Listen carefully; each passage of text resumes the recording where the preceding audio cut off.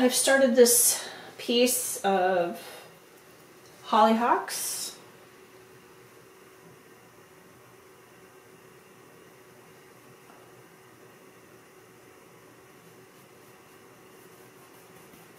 I do a little underpainting of uh, this dark red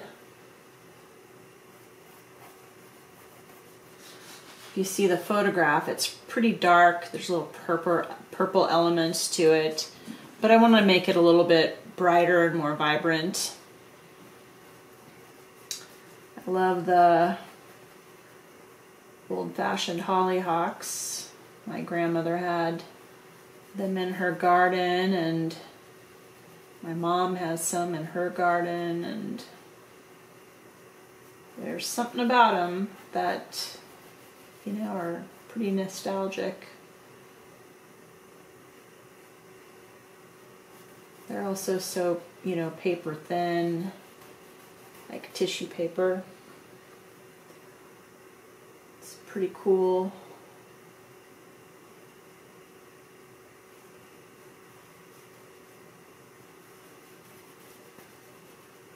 So some of what I do is just um,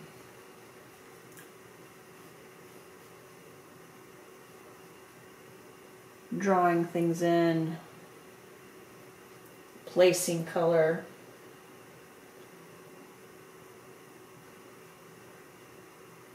That might not be exactly what I want it to do yet, but it's close, not too far off.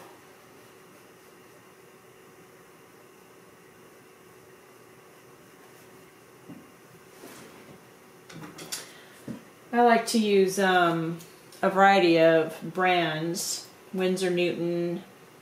This is like a Winsor red. I also like Winsor green from Winsor Newton. They're like really, it's a phthalo, really is what they call it. Um, that's short for something obscenely long, but um, I also like um, manganese blue and I'm also using permanent rose in this. They're really clean and pure colors and they mix well together. Um, I use some, you know, titanium white. I use um, a color called Indian red. Um, I use black occasionally. I really like um, French ultramarine, which is a really nice clean blue.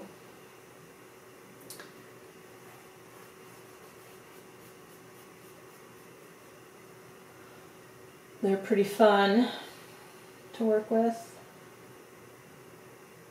I also like, you know, like the cadmium colors really well. They're nice and opaque.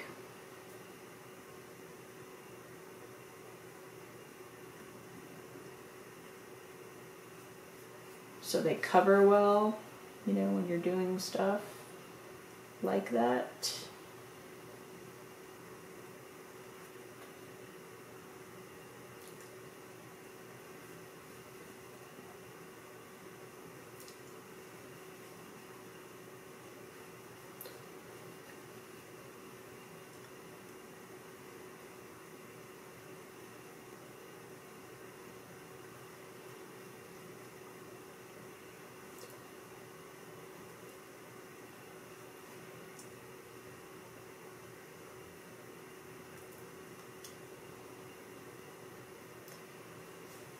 So I'll get more shading in here later on. I'm just kind of placing colors. You can still kind of see my pencil pencil lines there.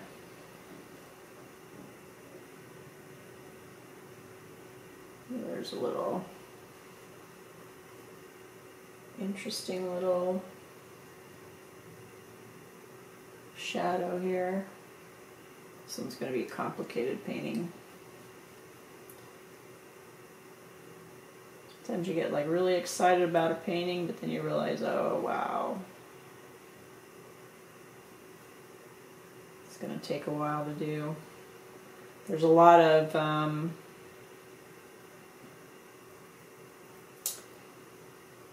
there's a lot of leaves and greenery and stuff like that. Kind of complicated. Sometimes that kind of stuff just goes on and on.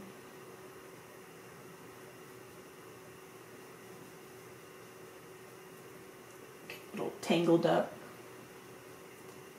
in the details. But to be honest, that's kind of what I like about painting.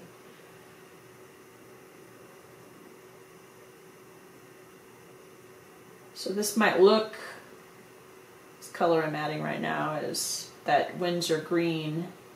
It has a lot of blue in it, so when you add it with this rose color, permanent rose color that I use, a lot of, it like really mixes well and it's really beautiful and rich. Use just a little bit darker tone. Oh, and the paint's still wet, so it just nice blends in really nicely. The joy of oil, oil paint.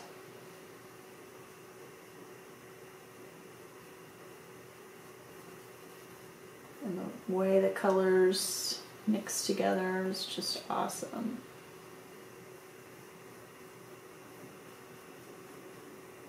Now when I paint, you know, I like to get a little bit more, you know, I don't use the student grade or anything like that. It's not because they aren't, you know, the same color or whatever. Um, it's because they have less pigment in the paint. And so um, you're going over and over and over and you don't get good coverage. Um, it's a little bit frustrating when you're just trying to finish up your painting. And because you're feeling a little bit cheap one day or something, now it's going to take forever. So it's one of the reasons I just get the colors I want. I do a little bit of experimenting once in a while, you know, different brands and stuff. Um, different brands have like it may be called the same thing, but it's you know it's not the same exact color. Um,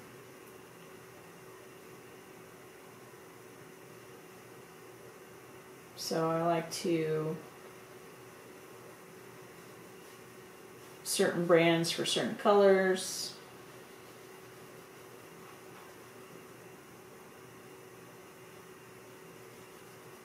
I also use I use Liquin in my work.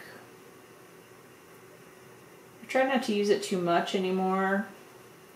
I used to use it a lot more, but a lot of friends have been having you know, allergic reactions to the Liquin and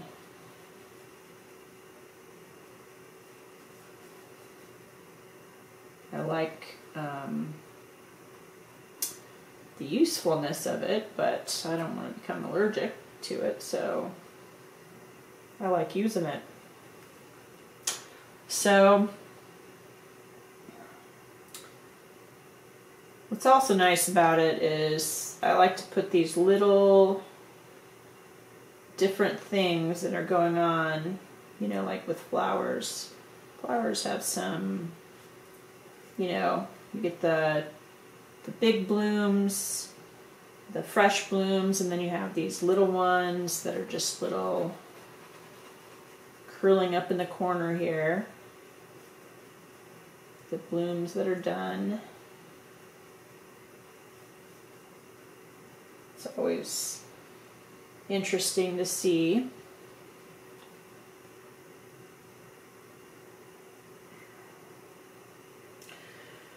But I like to start with the the blooms because then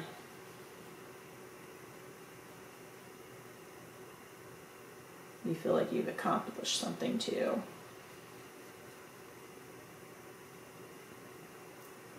I, you know, usually jump around, go to different areas.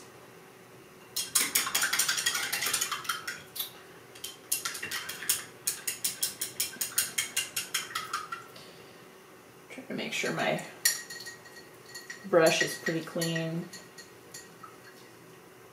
Be changing. We'll do this one up here. And then we'll call it a night, I think. What's interesting about these flowers is they're a combination of pink, pink and uh, yellow. Kind of, they're not, they're peach, but they're not really. Some of it is kind of some different coloration. I might make a more mob later. Decide what I'm going to do.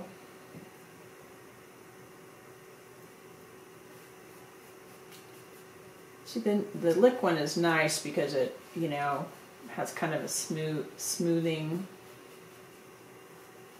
without it being like really wet. I'm just putting like the dark colors in. My background was done earlier, so I don't have to worry about it like mixing in with the paint I'm doing now.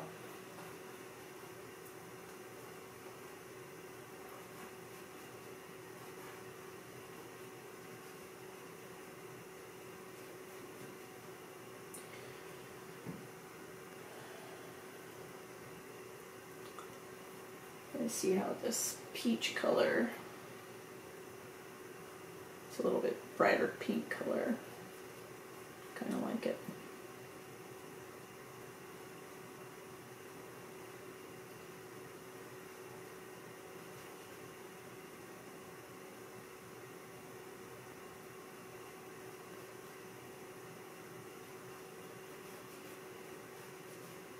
Just nice to be able to just place in these colors.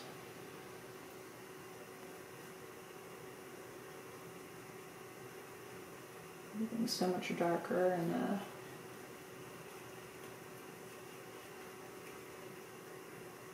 background.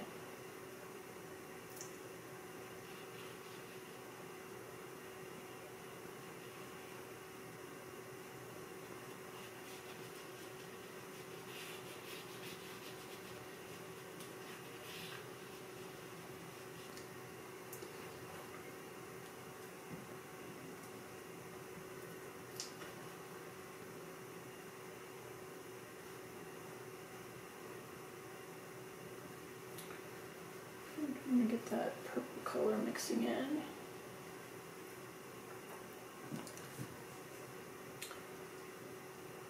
Too, as you go through stuff, you start to find all these things that you didn't realize were there. I think a lot of people just make assumptions that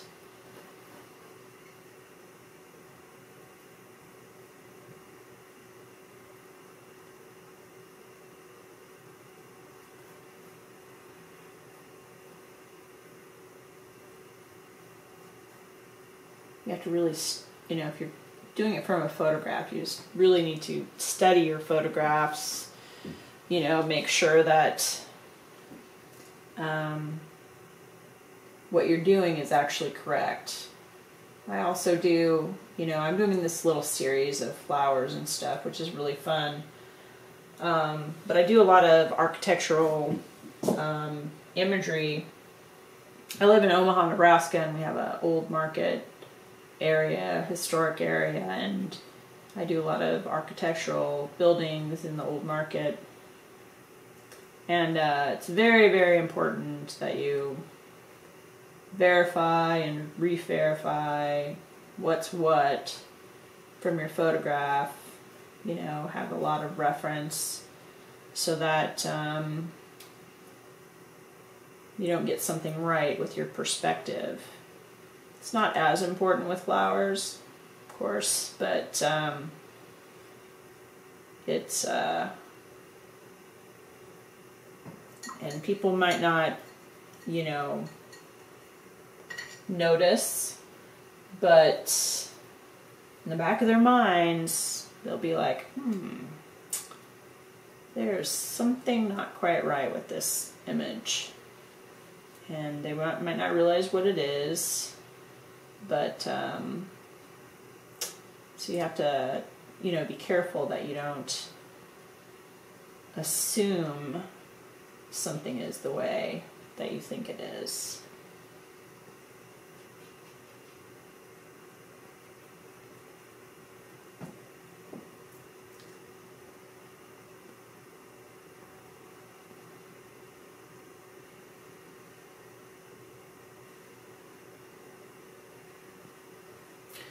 Think we'll just outline these guys, see where they are.